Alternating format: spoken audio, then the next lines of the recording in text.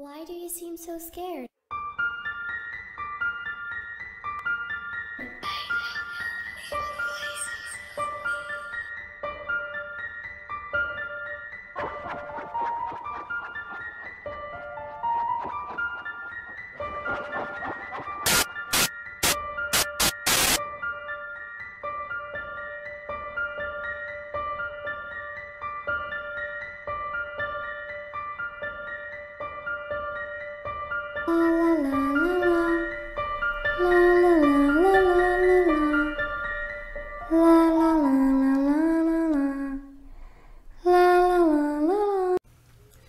It's Christine welcome back to Paranormal TV. Of course, sirens, of course.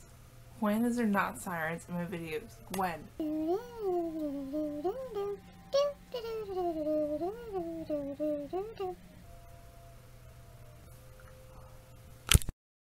I'm getting really annoyed with these sirens, I'm just going to go ahead and start filming anyway. I noticed that when I looked at my last video, my face looks two-toned. It is not two-toned. It's actually the same color, but you know, my lighting's not that great right now.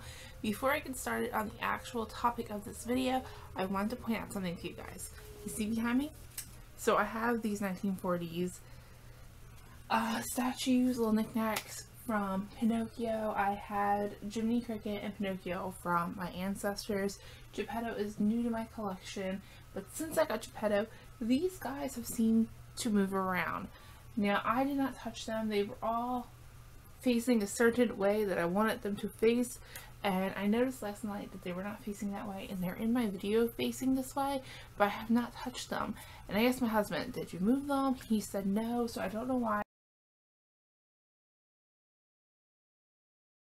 They're facing this. I wonder if Geppetto has anything to do with that.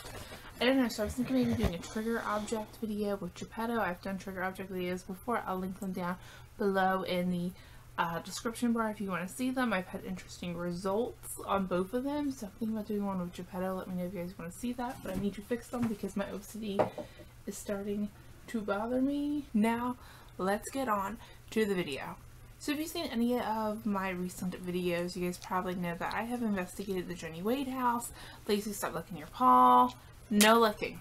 I have investigated the Jennie Wade house recently and I put a few videos up pertaining towards that investigation and I want to do a couple more videos talking about the Jennie Wade house and the haunting and stuff and so when I went to look up the house I found this picture